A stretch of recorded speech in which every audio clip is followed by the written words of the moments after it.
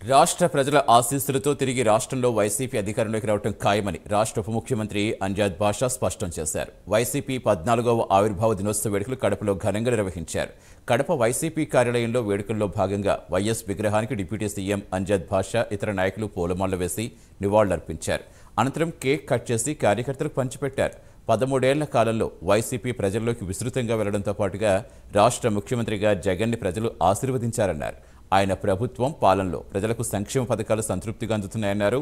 రాబోయే రోజుల్లో ప్రజలకు మంచి చేసిన సీఎంను ఆశీర్వదించి ముఖ్యమంత్రిగా జగనన్నను గెలిపించుకుందామని అంజాద్ బాషా పిలుపునిచ్చారు. పార్టీ పద్నాలుగవ ఆవిర్భావ దినోత్సవం మరి ఈరోజు ఆంధ్ర రాష్ట్ర వ్యాప్తంగా కాకుండా మరి ఎక్కడైతే వైఎస్ఆర్ అభిమానులు ఉండారో ఎక్కడైతే జగనన్న అభిమానులు ఉండారో మరి ఆ ప్రాంతంలో అంతా కూడా మరి ఎంతో ఘనంగా ఒక పండగ వాతావరణం వల్లే మరి ఈరోజు ఆవిర్భావ దినోత్సవాన్ని మరి నిర్వహించుకోవడం జరుగుతుంది.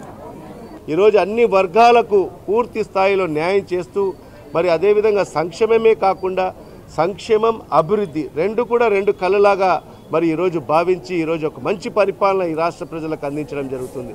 మరి ఈరోజు చూస్తుంటే ప్రతిపక్షాలన్నీ కూడా ఏకమవుతున్నాయి.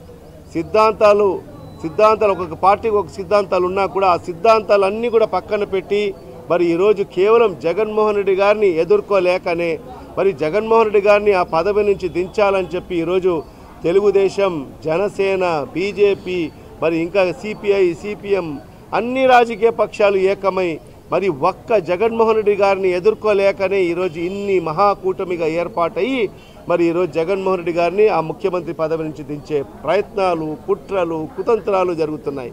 మరి ఎన్ని కుట్రలు చేసినా ఎన్ని కుతంత్రాలు చేసినా మా ముఖ్యమంత్రి గారు ఒకే మాట అంటున్నారు.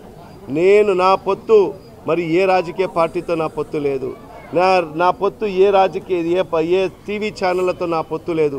నా పొత్తల్లా కూడా ఈ రాష్ట్రంలోనే పేద ప్రజలతో నా పొత్తు అని చెప్పి ముందుకెళ్తున్న నాయకుడు